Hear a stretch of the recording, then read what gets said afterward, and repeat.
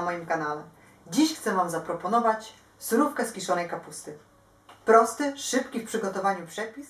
Mamy okres jesienno-zimowy, więc potrzebujemy dużo witamin.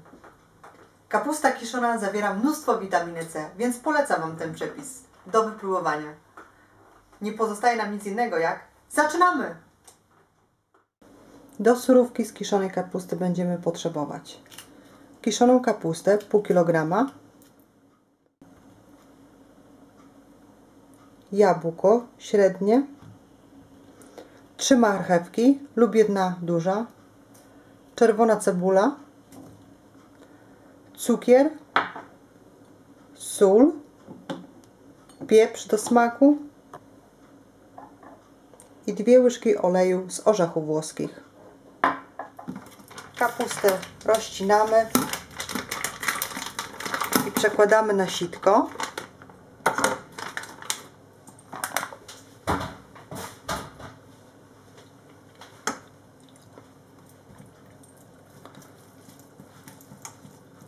Troszeczkę ją przepłukamy, aby nie była taka kwaśna. Spróbuję. Mhm.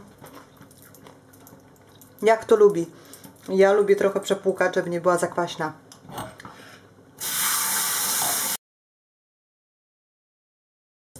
Odduszamy tą wodę solidnie, żeby była taka suchsza.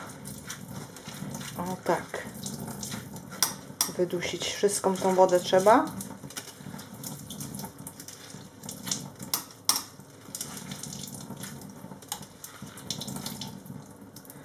Niech jeszcze trochę odcieknie. Kapustę troszeczkę przesiekamy na mniejsze kawałki.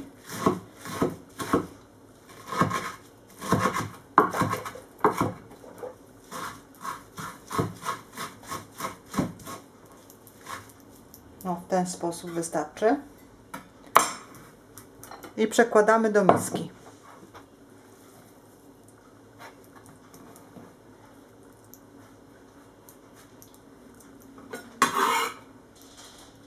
Marchewki obieramy.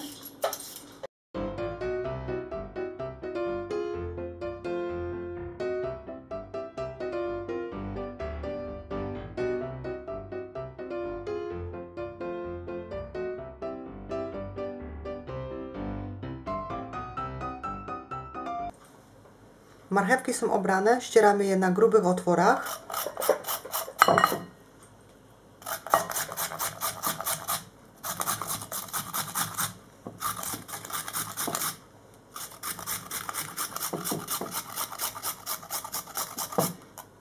Teraz musi pokroić malutką kosteczkę. Ja proponuję tej skórki nie obierać. Będzie fajnie wyglądać w surówce. Także odcinamy od gniazda nasiennego w ten sposób. Oczywiście jabłko jest umyte i wyparzone. Siekamy. Tak.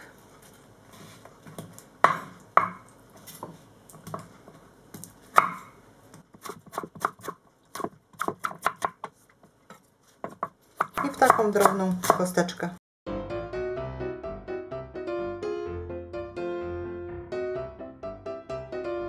Ta surówka jest bardzo prosta w przygotowaniu, ale jest niezwykle przepyszna, szczególnie w jesienne dni. Wspaniale komponuje się z pieczonymi żeberkami, czy też e, z pieczenią rzymską, a nawet i golonką.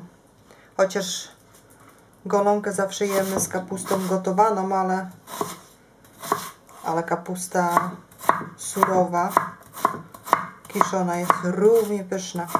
Bardzo polecam Wam tą surówkę. Bomba witaminowa.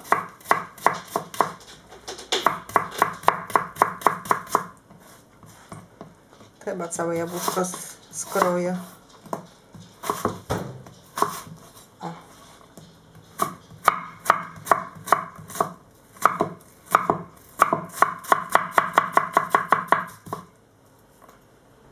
jabłuszko przesypujemy do miski.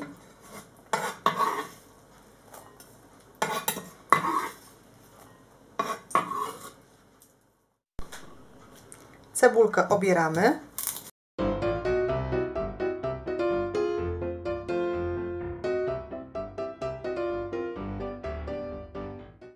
i siekamy.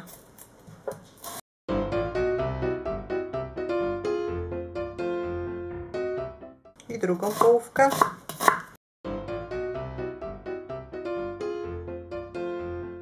I przekładamy do miski również.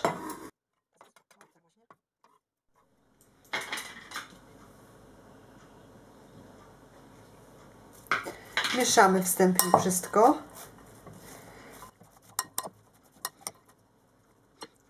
Łyżeczka cukru. Troszkę pieprzu. Według Waszych upodobań. Można dodać więcej, mniej.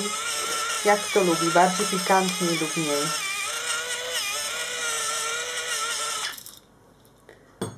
I troszeczkę soli. Nie za dużo.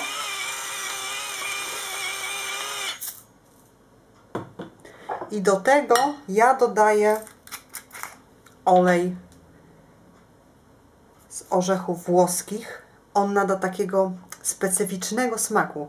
No, cudowny, cudowny orzechowy smak. Wy natomiast możecie użyć olej słonecznikowy lub e, olej lniany. Kto jak woli, ale polecam Wam wersji z, orze z orzechowym olejem, ponieważ jest przepyszny. Możemy także posypać pietruszką na koniec. Ja zostawię w wersji naturalnej. Możemy także dodać orzeszki przyprażone czy pestki dyni, ale ja przedstawię Wam w ten sposób. Tak się prezentuje. Życzę Wam smacznego. Jeżeli Wam się podobało, subskrybujcie, lajkujcie i zostawcie komentarz na dole. Do zobaczenia. Pa!